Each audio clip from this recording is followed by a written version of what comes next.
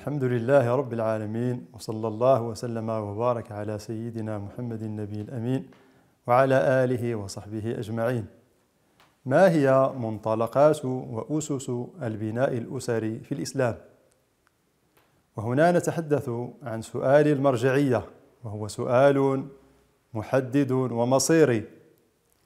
فالأسرة بين خيارات ثلاثة وبين مرجعيات ثلاث مرجعية الفكر الوافد ونتحدث عن المرجعية الغربية الحداثية ومرجعية الفكر الجامد ونتحدث عن مرجعية التقاليد والأعراف والفهم السقيم للدين والمرجعية الثالثة هي مرجعية الوحي المعصوم.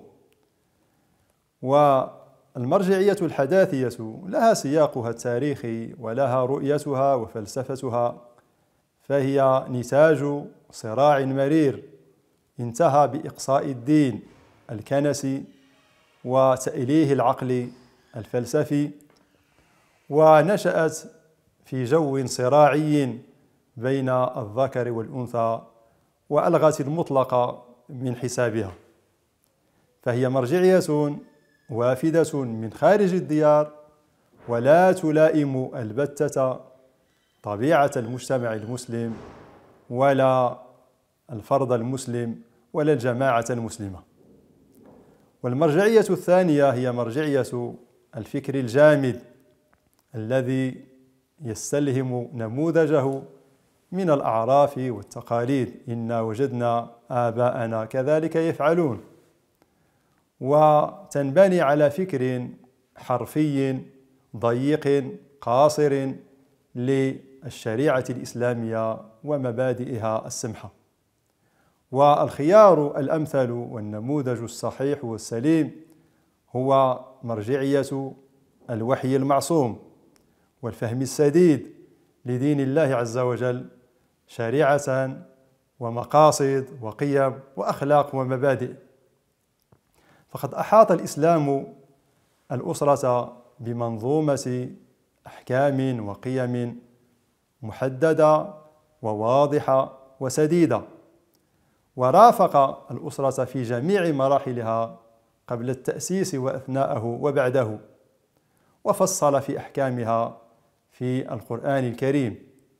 ثم جاءت السنة المطهرة الشريفة وقدمت النموذج العملي التطبيقي للأسرة النموذجية الناجحة وللزوج الحنون والأب البار وللعلاقة الطيبة وللحياة الطيبة. وعندما نتحدث عن مرجعية الوحي ومرجعية القرآن والسنة فطبعا نتحدث عن الفقه الجامع الذي يجمع بين الأحكام والمقاصد والذي ينبني على اجتهاد مقاصد مقاصدي سديد والذي يراعي الفروع والأصول والجزئيات والكليات في رؤية شاملة متكاملة لقضية الأسرة في مكوناتها الأساسية وفي علاقاتها الممتدة بباقي مؤسسات المجتمع والأمة. والمنطلق الثاني هو الحكمة البشرية فالإسلام لا يمانع في النافع من العلوم والمعارف. ونتحدث في عصرنا عن العلوم الاجتماعية والتربوية والنفسية وهلم جره فينبغي أن ننفتح على هذه العلوم وأن نستفيد من الحكمة البشرية. فالحكمة ضالة المؤمن أن وجدها فهو أحق الناس بها.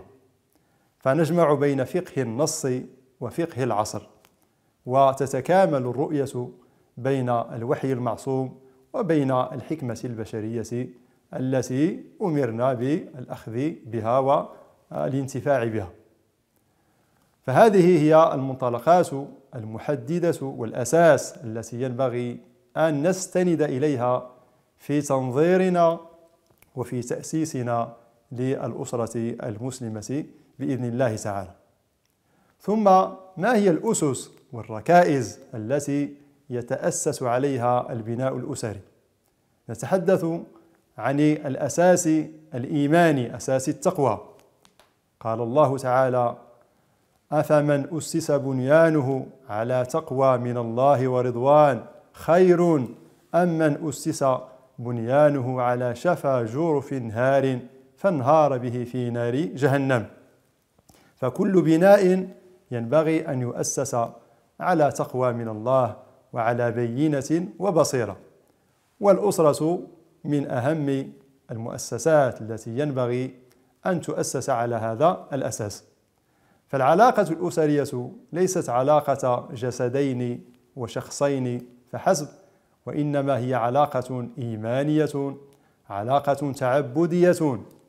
وفي بضع أحدكم صدقة كما قال النبي صلى الله عليه وسلم فقال له أحد الصحابة يا رسول الله أيضع أحدنا شهوته؟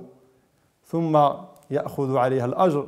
فقال له النبي صلى الله عليه وسلم أرأيت إن وضعها في حرام؟ أيكون عليه وزر؟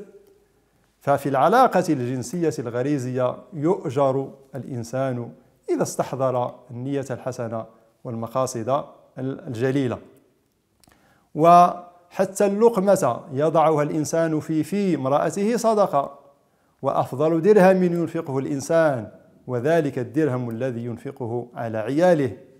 والسعي على العيال جهاد وأي جهاد.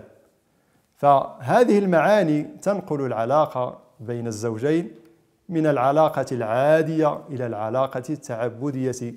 فيسعى كل طرف إلى طاعة الله في الطرف الآخر ويجعل من هذه العلاقة مطية إلى نيل الزلفى عند الله عز وجل.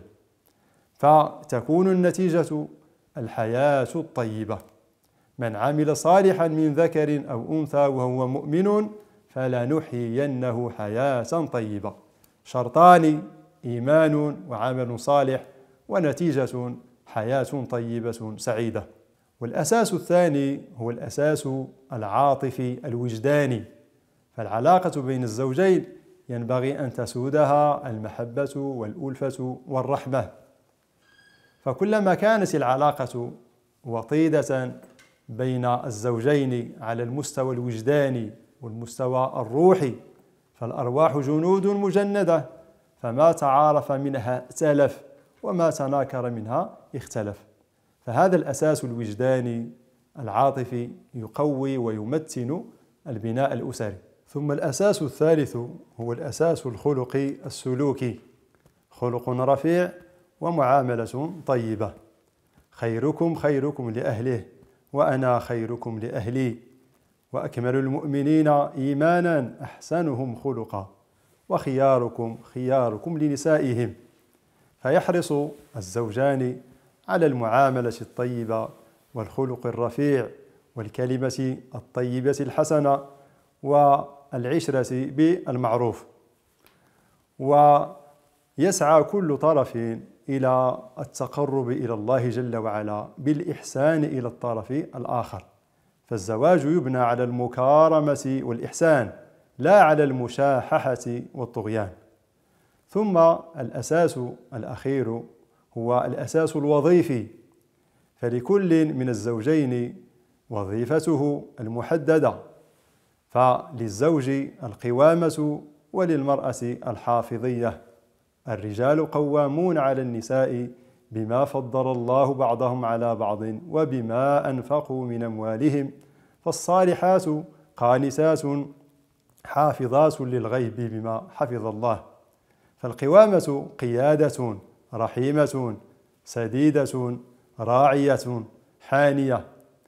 فالزوج هو الربان الذي يسهر على إيصال الباخرة إلى بر الأمان وشاطئ النجاة والمرأة حافظة تحفظ زوجها في شرفه وعرضه وماله وتحفظ الفطرة من الضياع وتحفظ الأجيال أجيال المستقبل. فهما دوران يتكاملان ولا وجود للصراع الذي عاشته التجربة الغربية. فعندنا التكامل بين الزوجين ولا يوجد التصارع والتطاحن والبحث عن الغلبة. فهذه الأسس والمنطلقات من شأنها أن تؤسس لنا بناء أسريا متينا يحقق الغاية والمقصود ويجعل الأسرة تقوم بوظائفها المنوطة بها. نسأل الله تعالى أن يرزقنا السداد والرشاد والحمد لله رب العالمين.